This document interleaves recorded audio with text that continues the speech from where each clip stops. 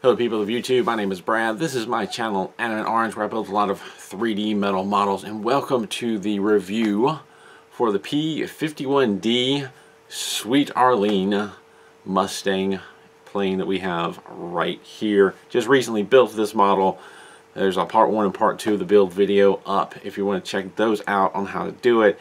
And now it's time to review this build. It is a nice looking airplane model. Metal Earth has done a number of aircraft models over the years. I built a lot of them, not quite all of them, a lot of the older ones, and they keep coming out with more. This one is in color. Metal Earth has very much gone towards a line of color models. I've kind of gotten away from these, these silver models, and I like the direction that they're going with most of the stuff they're doing.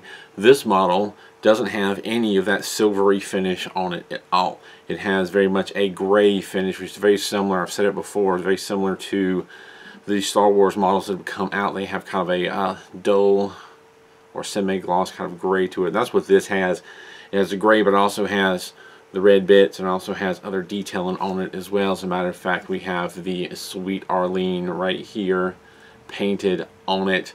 I don't know really any of the history of the Sweet Arlene, what exactly that comes from. There's a little blip on the packaging on their website that basically says American long-range single-seat fighter and fighter bomber used during World War II and the Korean War. The P-51D model was flown by Lieutenant Bowers of the 4th Fighter Group, 334th Squadron. It was named Sweet Arlene and was credited with six enemy aircraft destroyed. If you Google P-51 Sweet Arlene, there's a number of pictures that come up and a lot of just the same basic detail. Don't know the history of it, but I know this is a nice looking model and it is not that difficult to build. Total time for me to build it was a little over two hours, two hours and 15 minutes. They also give you the option of building it with landing gears or without landing gears. I did it with the landing gears as you can see. Again, it took me two hours and 15 minutes. The first half of it came together really quickly. I thought this isn't even going to take two hours. But then once you get halfway through, the first half is all large pieces. The body, the large wings, the top of the wings, things come together pretty quickly. But then once you get about halfway through, you start working on the bottom. And that's where some of the smaller parts and detail come in. There's actually a lot of detail on the bottom. And I like that this stand actually fairly easily removable. It kind of wedges in there, which is interesting. But the bottom has a nice amount of detail. I like that the bottom piece isn't one long piece you have to kind of fight with. It's actually three separate sections, not counting the bottom wing piece. So the bottom wing piece is one section. There's a front piece, kind of a mid piece, and then a little bit of a tail piece that you have to construct. So slightly different design, not very much, still a very basic design of the aircraft, and it comes together fairly well. Not a lot of fiddly bits to it, though it is a lot of just trying to shape the curved and angular parts of, say, the fuselage and whatnot.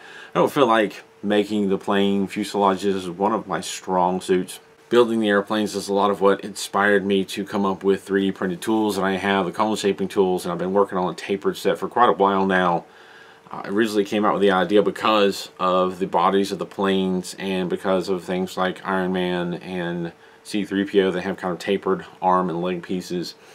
Though I built a lot of those models so I don't have a lot of use for it, I haven't been able to test those tools out much. I'm getting some questions about it when they show up in the video. When it showed up for this video, it was helpful in doing some of the curved bodies because the body isn't just straight bent over. It's actually a slight taper to the front and back. And helped having a round, a tool that was tapered and round as well. But that is probably the difficult part of this model is trying to get those shapes right.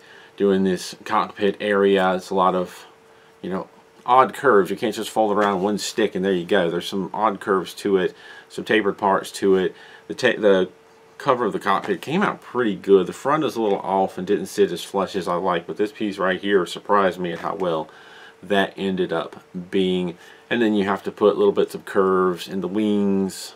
They're slightly bowed out, though I don't think I quite have got them quite as bowed as I should have.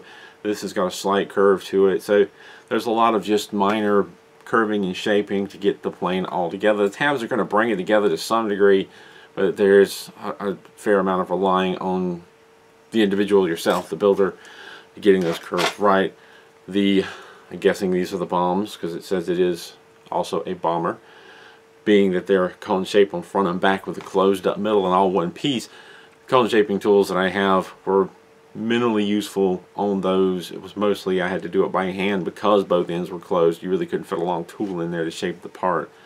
But still, I think I did actually better doing one by hand, which I think was this side, than the one that I used more of the cone shaping tools. This one I did almost completely by hand. I think it turned out a little bit better. So, yeah. But all in all, there's a little bit of a challenge in getting the shapes right. It's not a very challenging and difficult build. Furthermore, if you want to build it without the landing gears down, it becomes even simpler. Now, as of the making of this video, there's still no online instructions, basic instructions for this model. There's still no 360 view. I have sent an email to Fascinations to just see what's going on there. Maybe it's something that got overlooked. However, on the paper instructions that came with my kit, there was a notation that if you wanted to build this without the landing gear, it gives a website to go to for some online instructions, and those online instructions are there. I compared those instructions with the regular instructions. They're the same instructions. The difference being is once you get a little over halfway down, I believe it's page 4, you clip out 25, which is this long lower wing piece, and you skip parts 26 all the way to 35. 26 to 35 are the pieces of the landing gear and little detail pieces that go on the inside. You can see there's a discolored piece on the opening all those pieces, you just skip them. And these two pieces, there's a little flap here on the side of the landing gear and a flap on this side. You just don't fold them down. You leave them up. You leave them as they are. You jump all the way down to 36, which would be these two bomb pieces. Shape those, you add those on, and you basically put the wing on the bottom and continue on. So without that, which is some of the detailed portions, Without that, I probably could have done this in less than two hours, hours maybe two hours and 45 minutes, just a guess. So if you decide to omit the landing gears, it's not as long as a build because you're just skipping a bunch of little pieces and adding stuff onto that bottom wing. And then when you get to this back piece, you also skip 37, 38, and 39 and don't put that gear on as well. There's just a flat piece, part 40, clip that out, shape it, and add it on to the bottom. So basically subtract all the wheels and inside components and just leave those flaps closed and everything else all of this is the same. The front part the rest of it is all the same. So it definitely save you a little bit of time make for a cleaner look. Maybe one of these days I'll buy this model a second time and do it without the landing gears for that neater look. That would be kind of interesting. I might have to do that. As far as difficulties that I ran into with this model, not a lot of them. When you're doing the inside components, the cockpit area, there is kind of a front display piece that you're putting together and all sits on one large piece that kind of has a couple of angles and then what it looks like in the instructions straight parallel sides. That is uh, part 13 part 13 in the instructions look like it's supposed to be flat sides but I never could get to that point. I tried different angles on the top piece to try and see if I couldn't get the sides to be flat, but they tended to kind of toe in or toe out a little bit. I was still able to get the single tabs in line and get it connected, but it, it's something I worked with and it's maybe the instructions just aren't correct. I want to say that even in a picture somewhere it looks like it, but once it's buried inside of here you can't really tell. So don't fight with it too much trying to get those sides straight like the instructions. Just get the tabs lined up and get the other parts on it and keep going on. It's interesting, it's not problematic, but interesting that like these rear stabilizers are actually two pieces that kind of come together right here in the middle on this, I believe it's the vertical stabilizer, and then that just sits on the back. Interesting change, usually it's a wing over here that attaches and then that, that one over there attaches and they're a little bit floppy, but the way this is, it's actually half of it folded out, the other half folded out, and I want to say the bottom of these horizontal stabilizers fold over and, and secure. And then the whole thing just kind of they connect together and it sits on top. Interesting change in that also something something similar with this rear wheel if you do the landing gears the tire portion half of it's on one side and half of it's on the other that you have to partially shape and fold together a little bit weird but it can work and like I've already mentioned doing these pieces right here. It's nice to be able to use some sort of cone shaped tool to get those cones quite right, but it's really not going to work because of the way this is designed. You're going to have to do most of it with some other tool to kind of close it up. There's cones on either side and it limits what you can use in there. Still quite doable though. Can't, can't really say that anything else was problematic about it. Any of the ones that I've mentioned weren't really that problematic. I do like that the propellers are actually kind of double-sided and you fold one side over the other so you have colors on both sides and the way they're connected to the center is a thin bit so it makes it really easy to twist them so they have that more real, realistic propeller look which I, I did at the very end. One tip that I, I guess I kind of skimmed over, one of the things that I did when curving this back piece, there's two tabs to hold it down, kind of curves over and holds down to the side. I twisted those lightly initially, well not even lightly, I twisted them decently initially because I wanted it to be secure in case I had to flex and reshape the part, which I did a little bit. And then when it was done, I untwisted and kind of folded them up. Because if they're just folded like the instructions say, they easily pull out. I've had that with other planes. If you're confident that you've got the shape right the first time, fold them over and be done with it. But I know me, and things get stressed and they'll pop out. Did have a little bit of trouble with this back piece. It's not quite curved the way it looks so that it looks great. I did the best I could and it's it's okay. It's one of the challenges with these models. A lot of these little detailed curved and angular and odd shaped pieces it's easy to accidentally go wrong with them. You do the best you can and hope it turns out okay. I'm always going to find flaws with my own work. I think a lot of other people do the same thing. It's not perfect, but done a decent job, I think. The stand is pretty similar to a lot of other stands. There's two side pieces, a back piece that come together and sit on top of the stand with a fairly familiar trim piece underneath. The side pieces are folded in. The trick that I did was this back piece fold those angles at about or fold the tabs about 45 degrees to kind of hook each piece on and then hold it together with one hand while it while I line it up with the base twist those tabs and then go back and better secure fold these tabs over side tabs over 90 degrees and then add on the bottom part. Not a big deal.